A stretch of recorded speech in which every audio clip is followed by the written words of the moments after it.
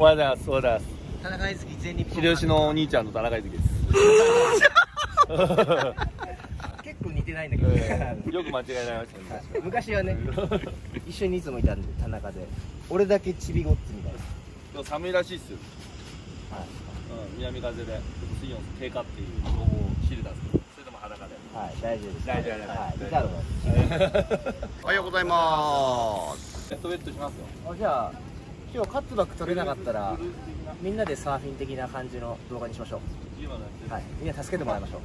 夏の千葉はね実は水冷たいからシーガル必須ですよ連日オフショア吹いちゃうと2日で冷たくなるね。本当に一昨日まで裸で入れたけどビビってシーガルにしちゃいますいや私もシーガルなの 千葉の人しかわからないから。そうですね。はい秀吉のチャンネル見てるビジターの方も南風吹いた時は2つ持ってきた方がいいねベッドね。そうですね。シーガルと海パン。あそうですね。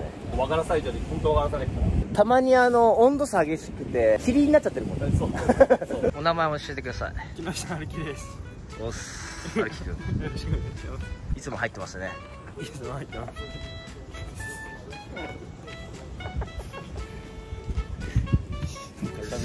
す。いや。真っ二つ。あそうあの波で辛いね板折れるとかちょっと待って春樹くん。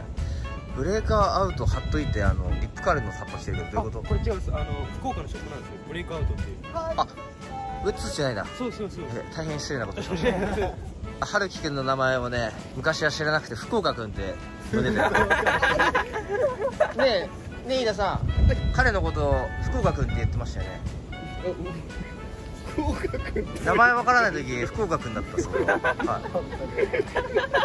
い、だってだってあの福岡ナンバーだったからさ。これ見てください。ビラボンのニューウェットでもうロゴ。めっちゃ快勝これタイラー・ウォーレンっていうオルタナティブ系のサーファーのモデル。でさらには新しく出たガルウィングジップとコラボレーションです。で最近僕は黄色にしててラインをなんでかっていうと僕プラドシで今年は黄色いこうかなあともう一個ねちょっと紹介したいんですけどこちら日焼け止めです。ブリサマリーナっていう日焼け止めなんですけどこれめっちゃくちゃいいんですよ。これ SPF50 なんですけどなんとね色がクリアなんですよ。だから塗っても白くならないからバカ殿にならない。どうですか？汗かいてても平気そうだねなんかそれあね全然全然。これマジでいいっすよ。で俺ほんとシミそばかす半端じゃないからめちゃくちゃ塗るんですよ。あとね耳も大切らしいですよ。耳も塗った方がいいんですあ耳のね後ろね。はい。まあ、女の人は髪の毛で隠れてるんですけど。あとやっぱ首ですね。首ね。ここのウエットの日焼けがかっこ悪くなるんで。あとは、まあ、こんな感じで今日は「How to」動画でカットバック実践編を撮りたかったんですけど見てくださいカットバックしづらい波なんですよ。これもまた。ちょっと挑戦してカットバックうまくできたら「ハウトゥー」にして。ダメだったら今日選手いっぱい入ってるんで彼らとのセッション撮影させてもらえたらなと思います。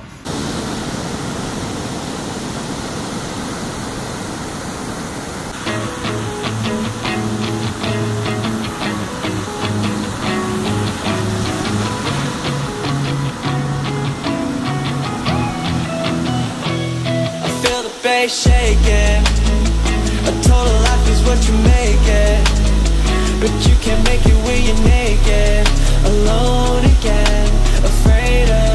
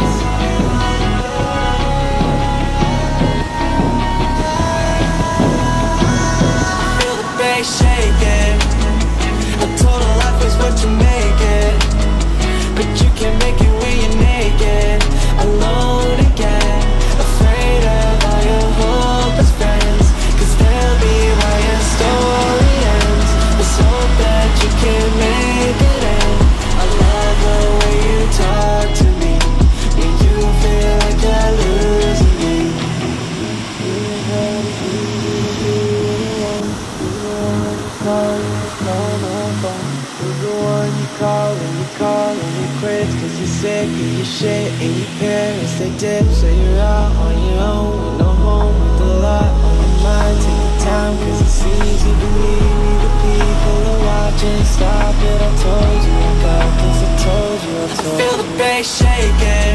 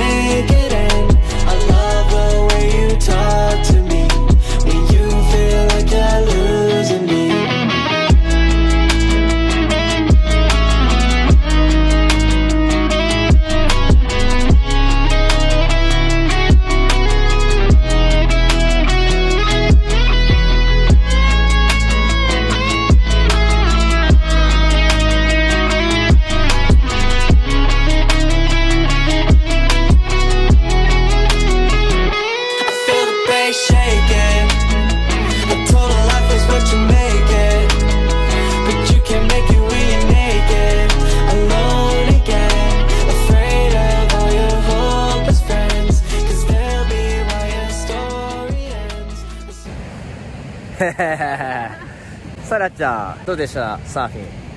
じゃあ波がうん。もやもやだっボヨンボヨン。たはい。でも US オープンもボヨンボヨンかもよ。そうなんですよ。いい練習できたんですか？はいできました。本当に？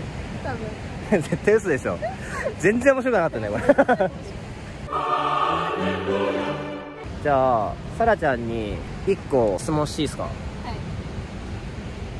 好きな男性のタイプ聞いていいですか？好きな男性のタイプ。はいえうーん大雑把な。大雑把？適当ってこと？適当。う適当。多分自分が適当だからんうん相手も適当じゃないと自分が面倒くさくなっちゃいますじゃあ例えば海入るときに3時に死だねとか言って、5時ぐらいに来るような男。そのぐらい適当なやつ。いやなんかそれで、あなんかもうちょっと休んでいくかみたいな適当なメッセージが入ってれば別にえー、適当な男が好きなんだ。ちょっとまずくねそれ。自分が縛られたくないというか。なるほどね。そうだ多ったな分サーファーあるあるだってその日デートとか言って波良かったら行きたくないじゃないですか。ああーはいはいはい。あ臨機応変に変えてくれる柔軟な男がいいん。だ適当っていうかちょっと言葉間違えてない？うん。でもなんかその、連絡返さなくても大丈夫な人、で適当にああもう返さなくても分かってくれる男がいいですね。まあでも向こうもそれでいいんです。ようちがそうあだああじゃあもう別に彼氏いらないでしょ。ね。今のところ。そうだね。いやもう海外とか行ってるんで無理です。あそっか。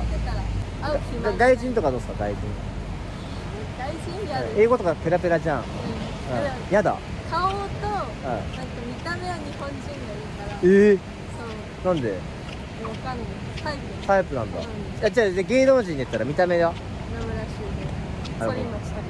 反町隆反町？えー、あんなちょっと男らしい感じが好きなの？ね、あのああいう黒い系好き。顔が濃い？あ濃いうん系濃いじゃあサーファーで言ったら？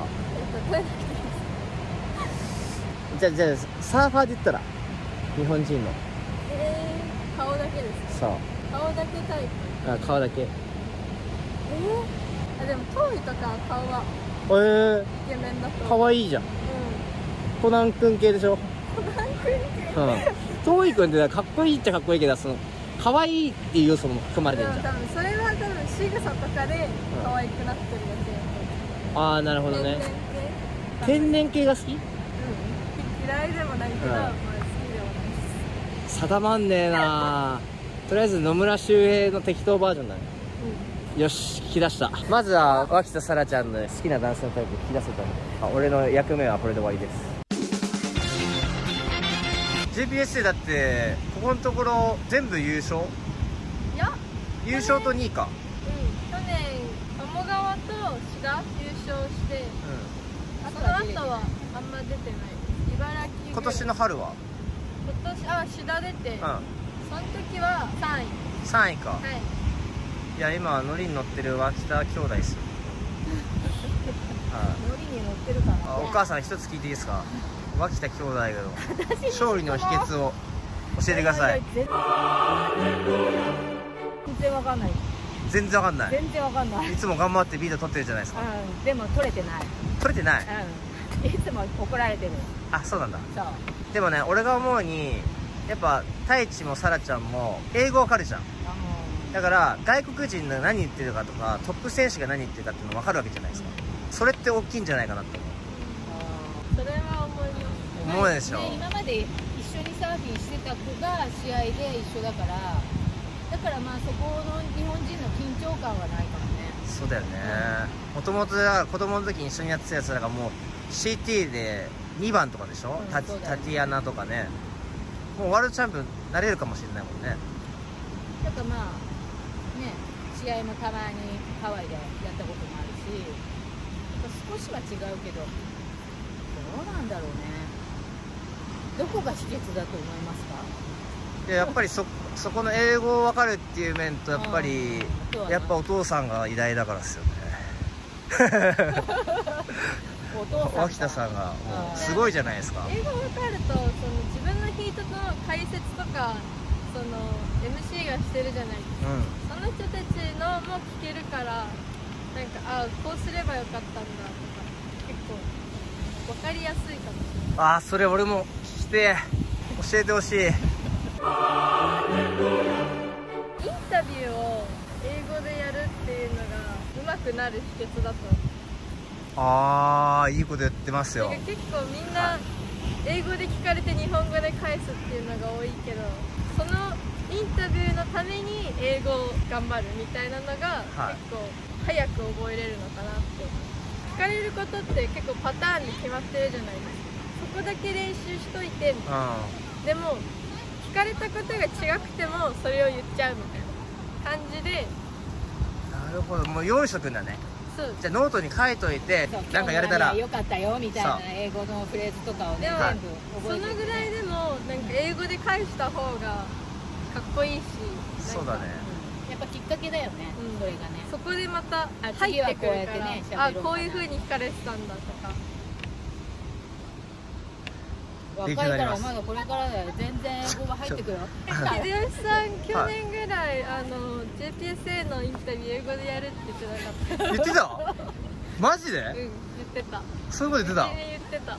誰に？サラちゃんに、うん。えだから英会話してって言ってたけど。ああそんなふ絶対ざけたこと言ってた。全然できるよ。絶対できるからさ、外人の彼女作るとかか彼女じゃなくても友達とかさ。随分押してきますね。はい。じゃあ野村周平さんに一言じゃあ英語でお願いします。はい。ちょっとどんな感じか。野村周平に。いやちゃんと喋れる人が喋れないとダメだよね。えー、もしかしたら俺 YouTube 見てるかもしれない、そうだよそうだよ。あはい。間違いない、はい、野村周平さんっていう方に一言英語で。あえそんな堅苦しくなくていいんじゃね？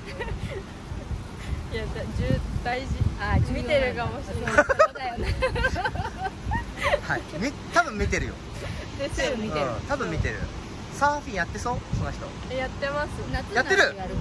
あじゃあ絶対見てるよ、うん見てる。